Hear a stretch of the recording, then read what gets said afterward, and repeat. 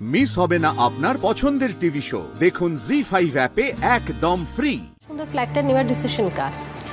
আমাদের দুজনেরই। হ্যাঁ আমি যেহেতু ছোটবেলা থেকে নিজের মানে আমি যখন যেই বাড়িতে জন্মেছিলাম একটা সার্টেন পয়েন্ট অফ টাইম ওটা আমাকে বেছে দিতে হয়েছিল। মানে আমার দিদার ডিসিশন ছিল। তো আমার না চিরকালই ইচ্ছে ছিল একটা বাড়ি নিজের বাড়ি যেহেতু বাড়িতে বড় হয়েছি। তো ওটা না পেতে খুব অসুবিধা হচ্ছিল। তখন রোহিত আমাকে বলল যে তোমাকে তোমার বাড়ির শখ আমি তোমাকে বাড়ি হয়তো করে দিতে পারব না কিন্তু তোমাকে আমি একটা সুন্দর ফ্ল্যাট তৈরি করে দিতে পারি। যেটাতে তুমি থাকবে যেটাতে তুমি সবাইকে নিয়ে তোমার যে ইচ্ছে আছে সবাইকে নিয়ে থাকতে পারবে। সো তখন ও আমাকে এই প্রপার্টিতে নিয়ে আসে এই প্রপার্টিটা দেখে আমার খুব পছন্দ হয়। তারপর থেকে এটা আমাদের স্বপ্নের বাড়ি বলতে পারো স্বপ্ন।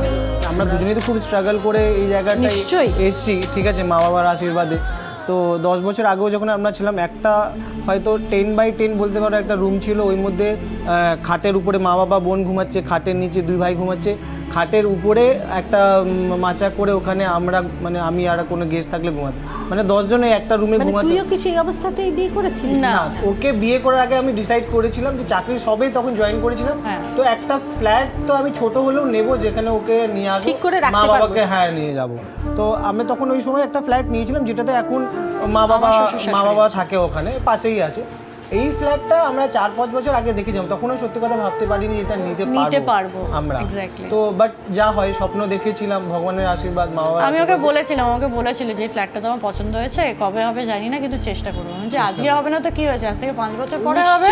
সবথেকে বড় ব্যাপার দিদি যে আমরা যা করেছি করেছি বাট যখন যেদিনকে পুজো হয়েছিল তখন যখন বাবা এসেছিল লোকজন দেখে না, বাবার খুব প্রাউড ফিল হয়েছে। বাবা মা কি চায়? সন্তান সবসময় উন্নতি করুক, তার কিছু হোক। এবার সেটা যখন বাবা মা দেখতে পায় খুব স্বাভাবিক। মানে আমি আমি বল তুমি বলছো আমি নিজেই কেঁদে বলছি কারণ সেম জিনিস আমার সঙ্গে হয়েছে।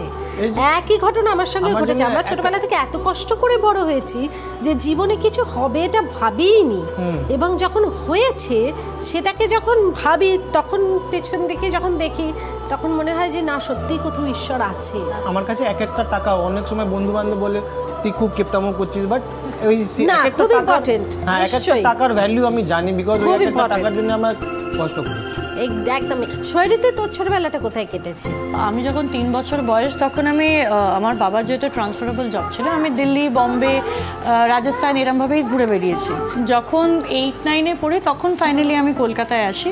তো তারপর থেকেই এখানে। কলকাতাতেই? হ্যাঁ আমার একটা সার্টেন পয়েন্ট অফ টাইম বাবার জবটা না ছেড়ে দিতে হয়েছিল বাবাকে বিকজ আমার দিদার আমার বাবা মায়ের খুব শরীর খারাপ হয়েছিল।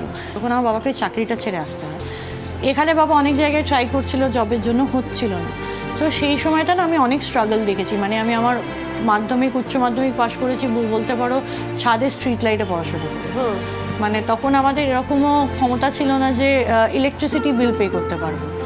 তো আমি খুব ছোটো বয়সে ম্যাচিওর হয়ে গেছিলাম। আমি বুঝে গেছিলাম যে আমাকে বাড়ির থেকে বেরিয়ে কিছু করতে হবে। নিশ্চয়ই। না হলে আমি এগোতে পারব না। না হলে আমার ফ্যামিলিকে আমি সাপোর্ট করতে পারব না। তখন আমি ছোটো ছোটো বাচ্চাদেরকে টিউশনস করাতাম আর আমার মা যেহেতু ডান্সের টিচার ছিলেন মায়ের থেকে আমি নাচ শিখেছিলাম। মানে মা নাচ করতো দেখে দেখে যা শেখা ওরকম করে।